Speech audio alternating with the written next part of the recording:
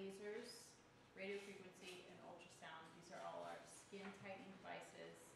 And really hopefully just to kind of help you guys understand the differences between them. I know there's some confusion with some of these new devices that we recently got.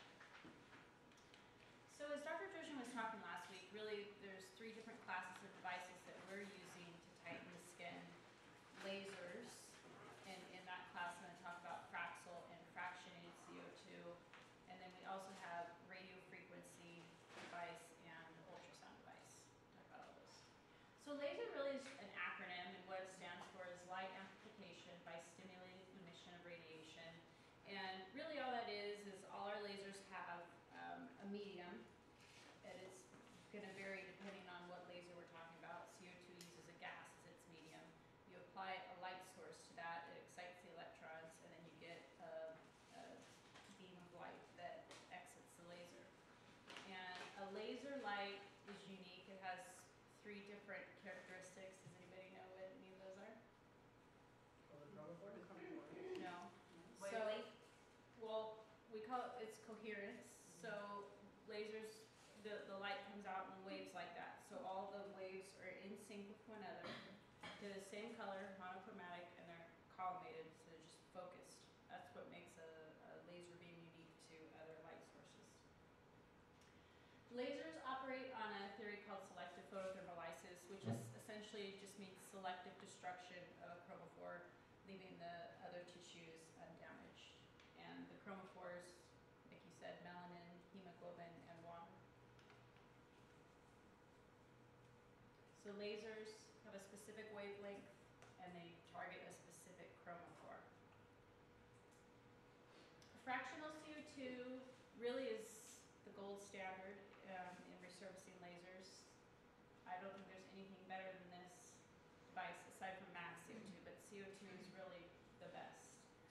It is fractionally ablative. Fractional, just I think everybody kind of understands that concept.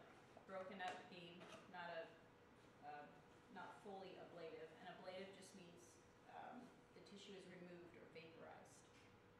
It has a wavelength of 10,600 nanometers, which equates to be about 1.5 millimeters, the depth of penetration, and that'll come into play later on when I'm going to talk about the Ulthera. Water is its chromophore, and we use it to treat fine lines and wrinkles, pigment, scarring of any type, whether it be from surgery, acne, um, burn scars, treat any type of scarring. You only need one to two treatments. The, the disadvantage with this laser, which is problematic for a lot of patients, is they don't want the downtime, which is about seven days for fractional CO2. If they're doing a max CO2, 10 to 14 days, and then you have a period of prolonged redness that can last three months or so. And um, a lot of our patients, they just don't like that. Just a picture of fractionated technology, the pixelated holes, bridges of intact skin, which aid in the recovery process. So we rely on this the skin in between um, the stem cells within here to, to heal over the areas that we are ablating. Again, this is just, I know, kind of a review, but with our fractional CO2, we do two passes typically. First, we do the deep FX. It's a smaller diameter, but it penetrates deeper down for deeper lines and wrinkles and scarring. And then you'll go over it again with the active FX. Larger diameter, doesn't penetrate as deep for the com combined, what we call total FX. To get the deep penetration, plus the superficial treatment of pigment, for just a really um, all-encompassing treatment. This just shows the, the CO2 laser beam. This is the area that we're ablating, and then around that you get this dissipation of heat, like a saucerization effect. And this is what, this heat zone is what accounts for the 30% contraction in tissue that you get with this laser. That's, no other laser can produce this amount of heat, and that's why this is such a great laser. It's, it's really the most aggressive one. And I think everybody understands the concept that whenever you put heat in this in the tissue, that's what's stimulating the production of new collagen. So with our Fraxel, this is kind of a far as aggressiveness. It is non-ablative. Again, it's fractionated technology. It's an erbium laser. It is just depositing pixels of heat into the deeper layers of skin. It has a wavelength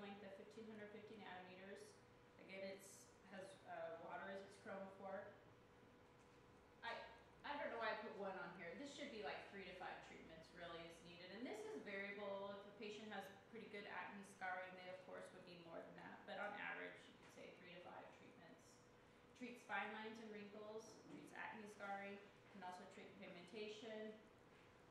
Questionably, maybe melasma, it's a difficult one to treat.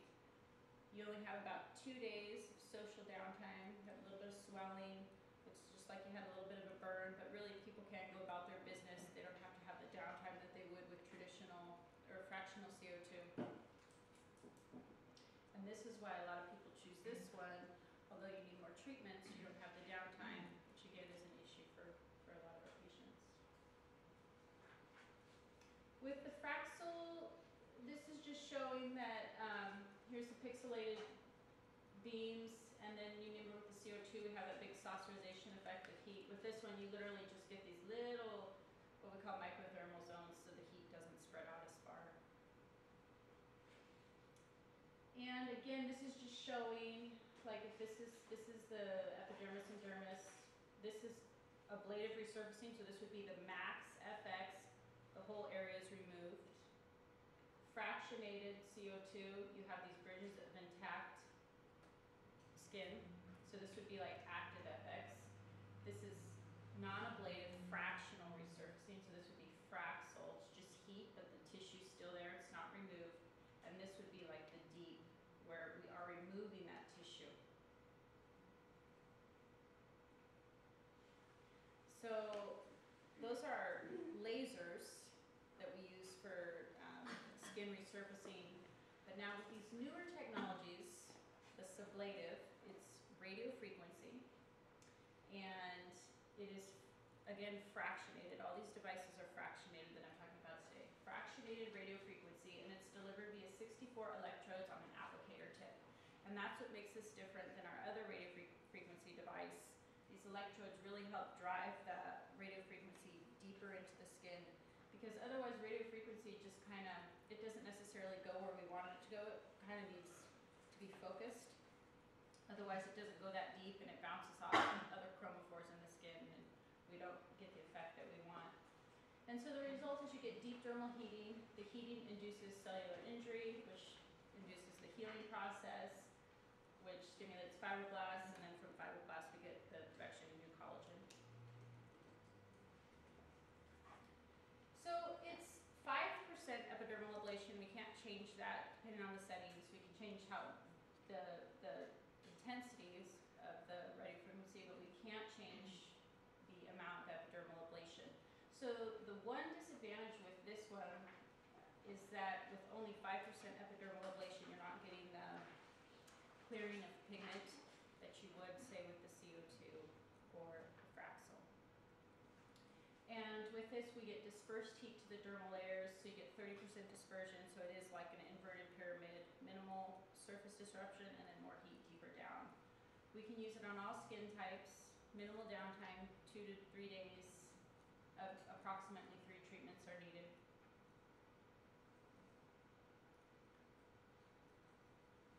So with regular CO2, you can see more epidermal damage, less heat down here.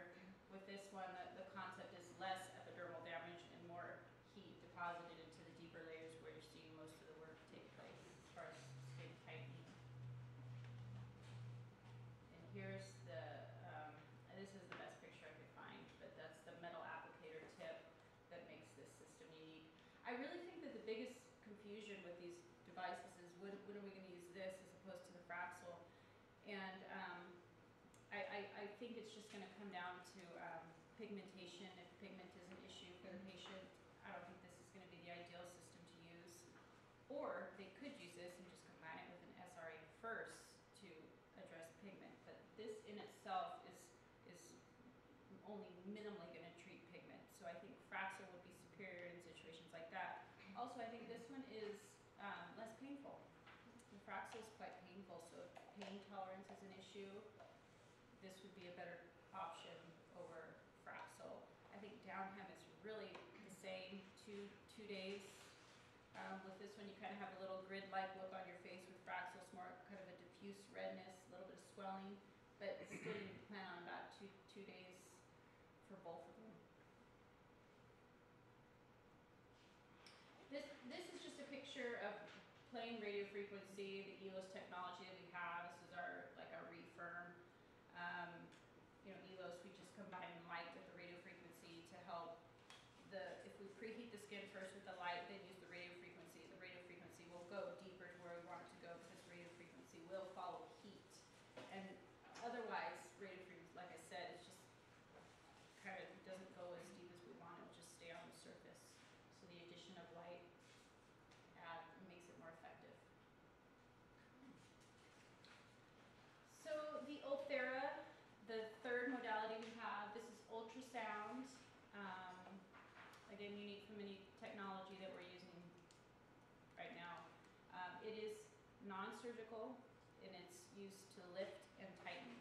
And that's what's unique about the Ulthera, it's the only device that's FDA approved to actually lift the tissues. All the devices tighten, but this is the only one that actually has FDA approval for lifting. Although it's not surgical, it doesn't give you the results of surgery, but it's, you know. It bypasses the skin surface totally. We have no epidermal destruction, and it targets deeper tissue where the collagen lives.